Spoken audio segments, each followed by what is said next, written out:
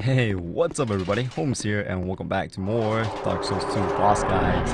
Today we're taking on Sir Alonne from the Lost Crown of the Iron King DLC and let me just say that this guy reminds me a lot of Artorias from Dark Souls 1.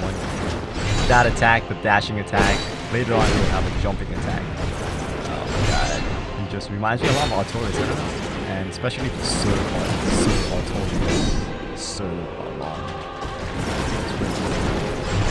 that you guys are having trouble with that, can summon an NPC for help on this boss fight, but I am not gonna this. This is a honorable swordsman fight right here. Katana versus Katana, that's right. And uh, uh, I would recommend you guys have a lot of a lot of agility for this fight because you're gonna need it. You need a lot of mobility and agility.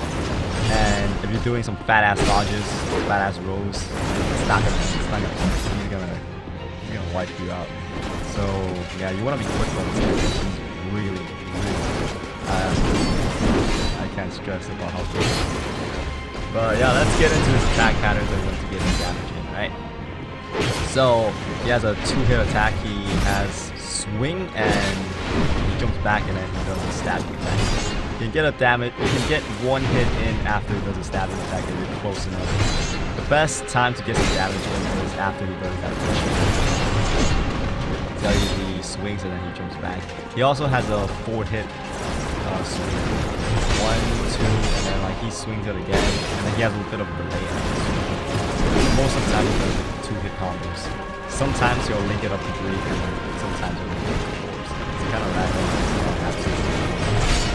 and sometimes he does one hit. Yeah, this guy is kind of predictable. And when he does that jumping attack, he'll only perform the jumping attack after you drop his HP down to half. So when you drop his HP down to 50%, start doing that jumping attack. Dodge all his attack. All his attacks by doing a diagonal right dodge. Okay? So best way to beat this guy is diagonal right dodge. That's the best way got me there because I was ready to Boom! It stabs me. So after his, his two hit combos, you get some attacks in. And after his rushing attack, and after his jumping attack, you get some attacks in, okay? Two hits, it's it's okay. One hit you're playing it safe and you're doing one hit. Two hits, you're okay. Three hits, you're pushing it up now.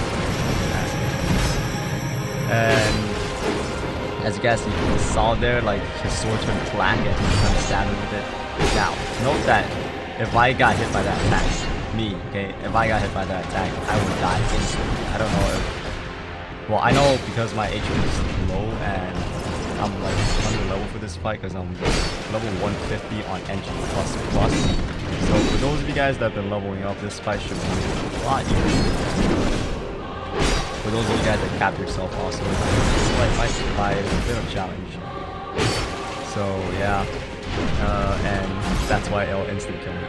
Even if I have armor on, it'll still instant the reason why I don't have armor on is because I want mobility.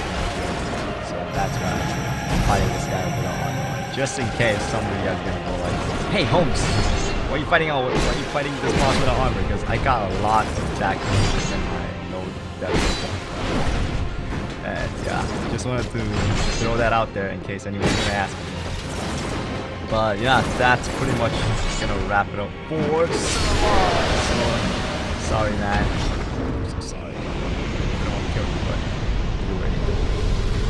but yeah, yeah, that's gonna wrap it up for him and I hope this video has been entertaining and helpful and join me next time when we take on more Dark Souls 2 The Lost Crown of the Iron King DLC. Alright, so yeah, I'll see you guys next time. Holmes out.